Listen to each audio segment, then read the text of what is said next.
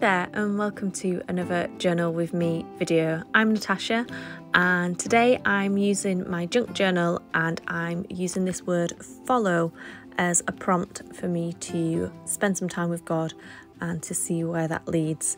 Um, I actually started this journaling page just after Christmas and then it got a little bit waylaid and I've come back to it so there's a little bit of time passed between me starting it and actually finishing it. So for this journaling page, I was focusing on the word follow, and like I said, it was just after Christmas um, when I was doing this, and I was using a resource from the Church of England called Follow the Star, which was a series of prompts um, to help you think and reflect on the Christmas season in between sort of Christmas and Epiphany, which happens on the 6th of January. And I was just really struck by the story of the wise men. Um, you know, it's one of those stories that is really um, well known. Even people who don't go to church often know it. And often with those stories, I find that they lose some of their meaning to us. We just get so used to hear, hearing them that we don't often hear them properly anymore. Um, and so I'd been really focusing and reflecting on that story. And as I started this page, I just started by journaling um, some of my thoughts around it and how the wise men, you know, had initially been following God's signs, had been following the star, but then they went and relied on their own wisdom um, instead of carrying on following the star. So they decided, instead of seeing where the star led them to, they thought, oh, I know where a king would be born, because um, that's who they knew they were going to find. King will be born in the palace. Let's go see King Herod. Um, and then you can see here I am adding some collage and I apologise for the speed of it. I put it on time lapse by accident, um, so you've got a very speeded up version of me adding some collage. Um, but yeah, um, I then decided to add some texture to the page, so I was using some gesso and some um, a stencil just to add a bit of texture. And I loved how with the collage I'd used some maps. Again, I was really thinking about that journey and following the star. Um, and like I said, the wise men they ended up going to see King Herod because they assumed that's where the king would be, and because of that, they put Jesus in danger because King Herod was then wanting to find out where this king was. Um, but if they just followed the star, they would have ended up where um, Jesus was. And you can see now that I decided to add some colour to the page. Um, it's not something I've done in this journal before, I use it in lots of my other journals, use my paints. But in this journal I've been mainly using collage. So I got some of my acrylic inks out and just decided to add some colour to the background just to brighten the page up.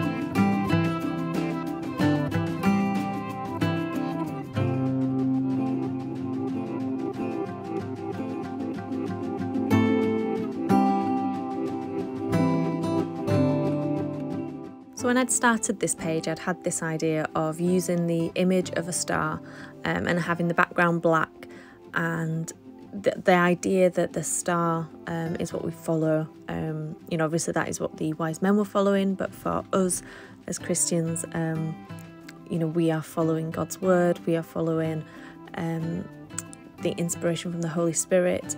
And that was the idea that I kind of wanted to get from this page was that even today we still follow God and we follow where God leads us. Um, sometimes it's to unexpected places. You know, the wise men were expecting to find the king in the palace because that's where you find kings, um, but actually they found him just in a humble home. Um, unlike the traditional Christmas cards that we often see, he probably wasn't still in the stable. Um, Jesus was probably um, a toddler by the time uh, the wise men arrived and was living at home with his mum and dad.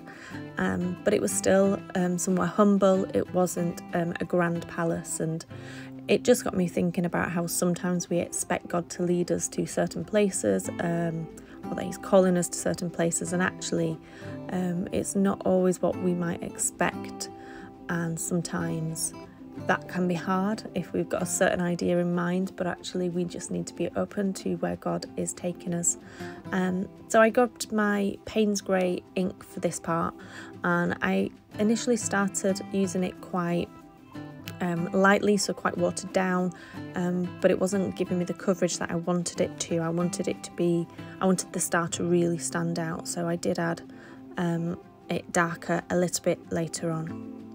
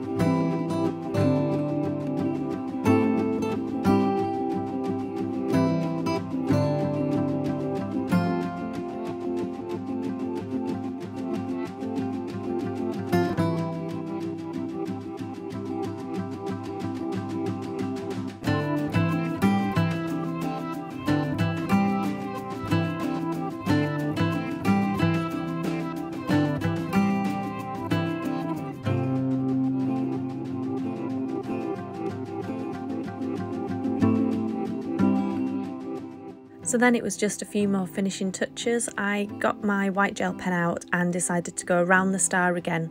I'd initially used that to draw the star in, but you couldn't see it anymore because of the ink. So I went over the top of the paint just to make the star really stand out and really pop.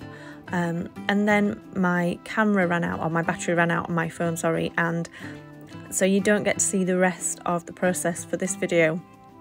But I just decided to add um, some gold paint around the top of the star as you can see in this video. Um, I've just outlined it in some gold ink. I added the word follow um, using some cutout letters. I lost the initial one that I'd found the one that I used at the very start of the video. Don't know where it's disappeared to. Um, but I got some tissue paper and added the word follow. And then I just wrote in my white gel pen um, Lord God, I pray that I will follow you um, wherever you may lead. And that feels like quite a bold prayer to pray in some ways. Um, you know, it's it's all right saying that, but actually, when it comes to it, do we actually believe that? Do we actually follow where God leads? Um, and then you can see here I'm just adding a few white splatters just to add a little bit of interest to the page. Uh, but yeah, that's the completed page using the word follow, um, which is a really big word for me at the moment um, for lots of different reasons. Um, but I hope you have enjoyed it. I hope you like the page. Um, I'd love to see your creations if you create something similar too. Until next time, goodbye.